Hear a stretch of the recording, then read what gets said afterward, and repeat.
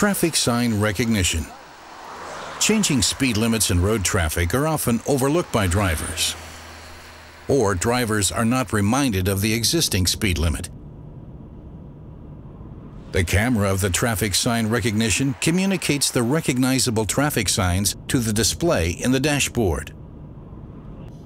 At the driver's control, such notification remains displayed and is immediately changed to the new speed limit when passing a traffic sign on the road. Speed limit reversals are also displayed immediately, and in connection with navigation systems, the display changes to the new speed limit. On roads which have standard speed limits, the speed is displayed even without traffic signs. Electronic signs by traffic control systems are simultaneously displayed so that the driver can always very comfortably see the current speed limit in his dashboard.